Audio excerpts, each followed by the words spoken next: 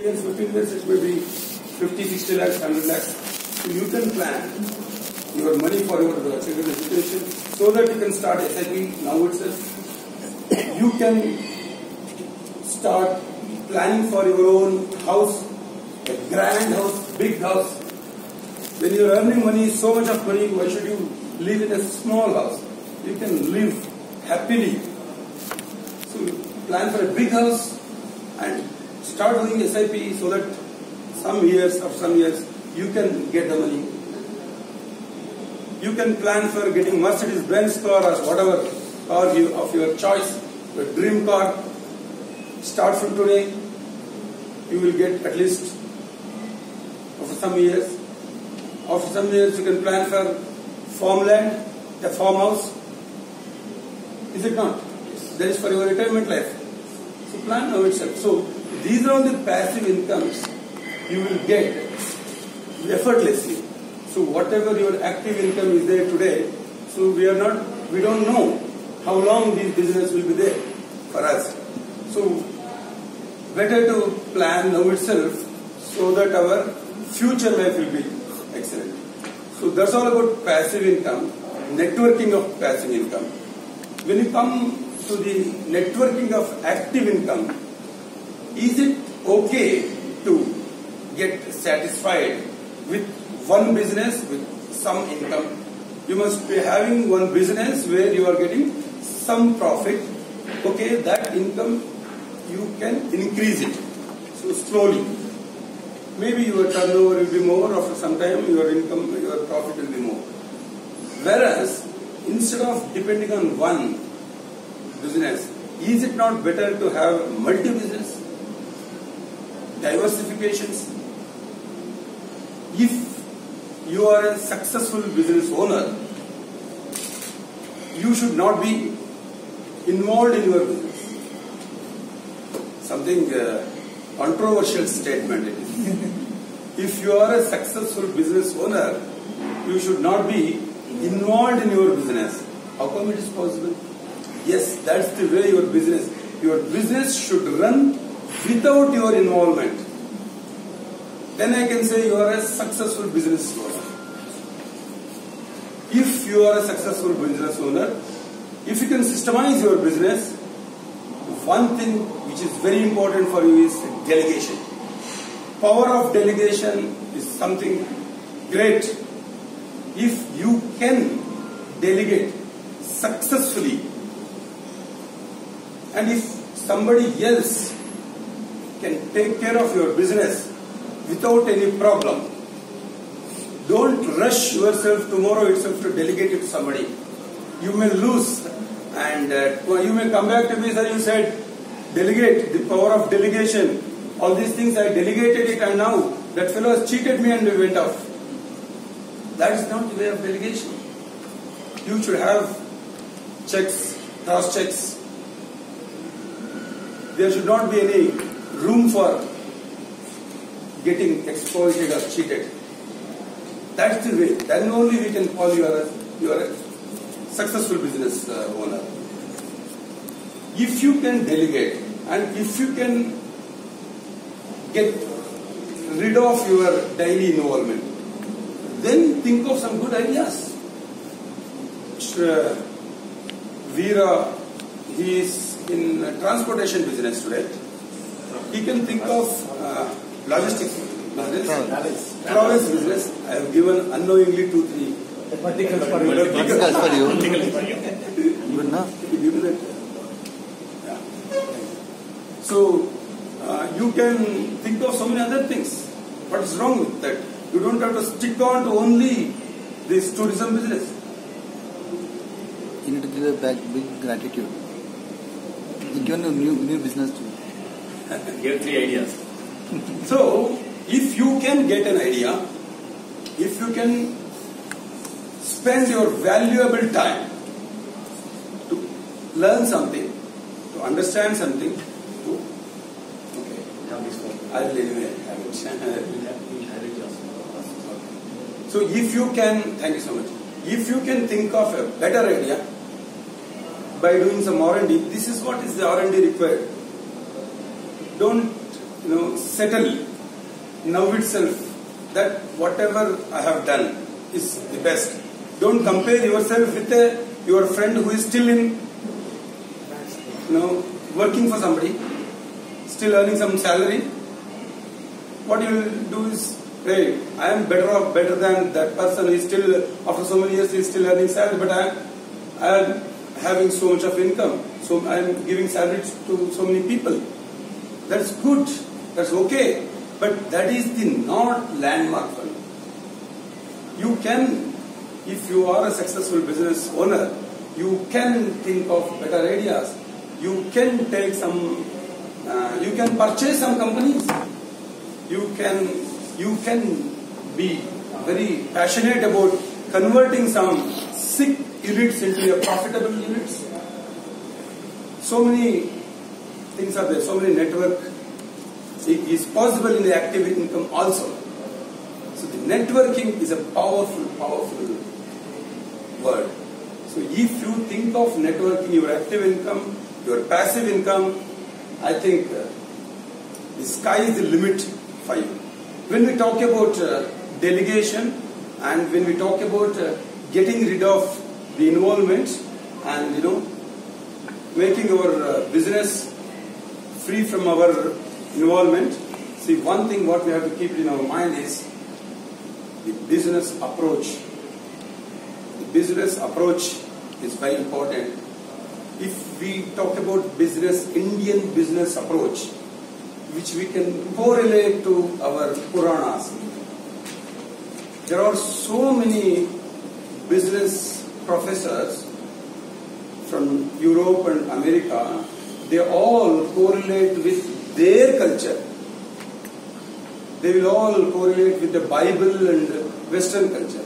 What is wrong in correlating our Indian business approach to our Puranas?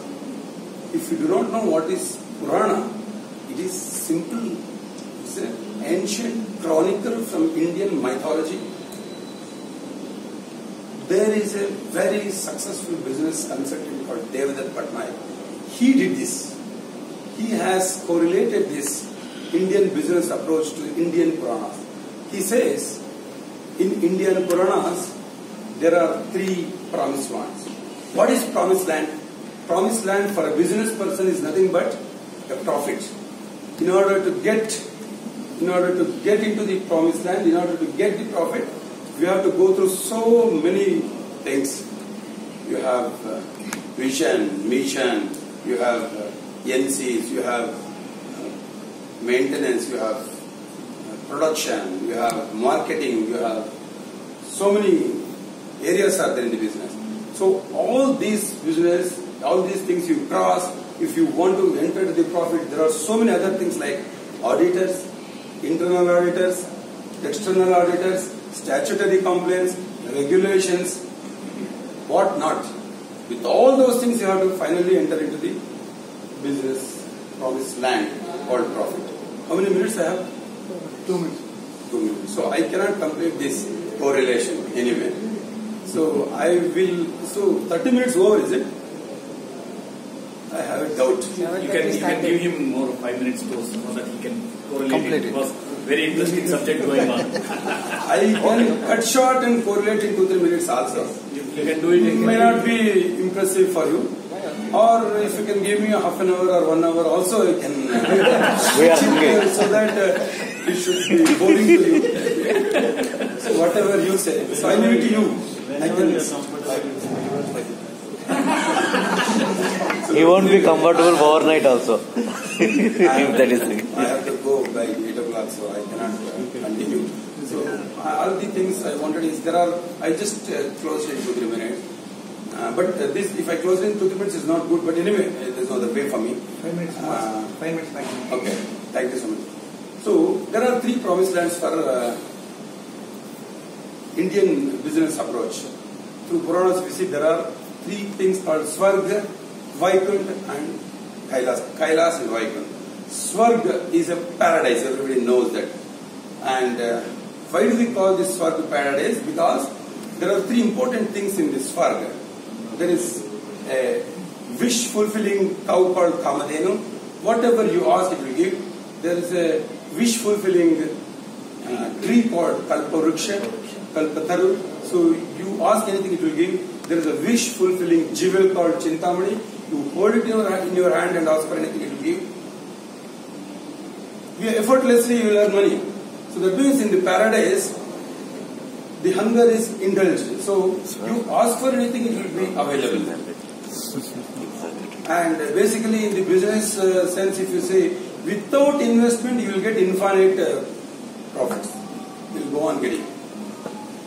But even then, the Swarg king Indra is not secure.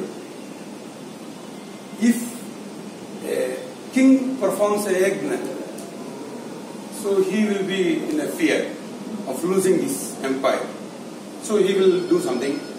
If Asura is born, he will go to his fathers and ask for killing him. If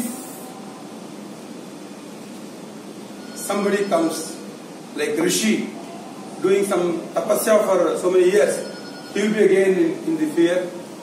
So he will send Rambha, Urvashi, Menaka and all to disturb him. So ultimately Indra He wants to has everything, he is insecure. He has everything, he is insecure. So this promised land is not so good for us. So let's go to the second promised land, Kailas. Kailas, the hunger is not there. It is overgrown. Why do we say hunger is overgrown? If you look at the picture of Kailas, Shiva is sitting with Parvati, with the Ganesha and the Subramanya. Shiva has got a Nandi, Parvati has got a lion, Shiva also has a snake, Subramanya has peacock, Ganesha has a rat, there is a predator, there is a prey. The Nandi is not quivering in fever with lion. Because there is no hunger at all. For lion. There is a peacock, a snake is there. Peacock can eat snake very close by, but there is no hunger for peacock. There is a snake and the rat. Snake is not eating the rat. Rat is not in fear of snake. So there is no hunger. So hun- hunger is outgrown. So that's why Shiva is always at peace. But there is a lady called Parvati. She will not let him at peace. So she will disturb. She says, she says all these things are okay. You are not hungry. Whereas what about others? So there is the problem. So you can survive, whereas others cannot survive. So this promised land also not okay. So we'll go to the Vaikunth where Vishnu is having lavishly, you know, sleeping with, sleeping on a serpent and having everything over there. There, there is a prosperity with peace. Vishnu, he engages the, with the world. If there is any problem in the world, he comes down in one or the other avatar and he takes care. He is worried about other Sangha. He is worried about other, other Sangha, he others Sangha so that he is able to outgrow his Sangha. So he is taking care of others.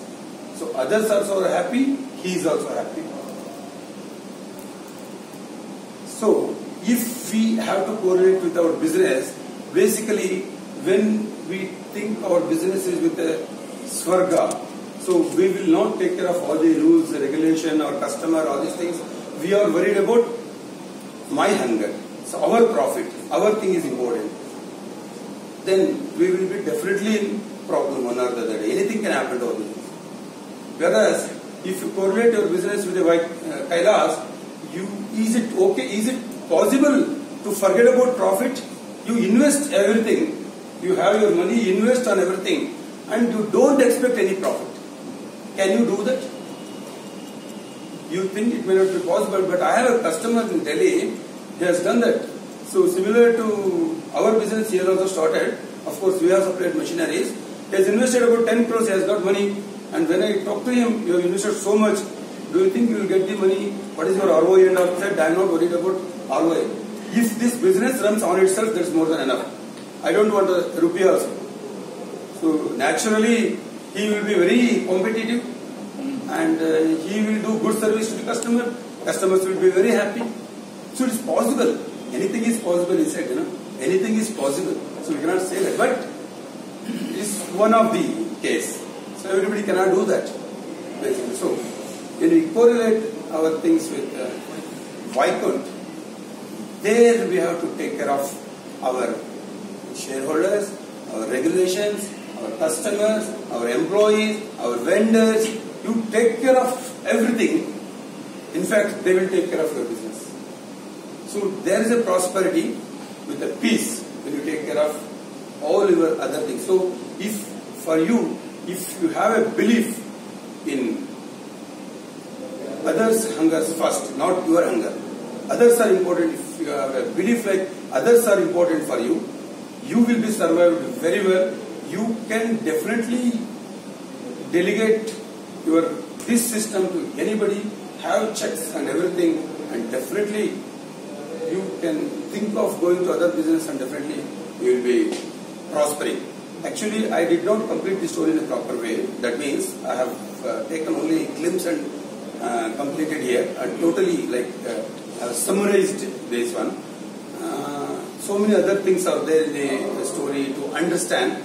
Maybe when we are having time next time we can do once more.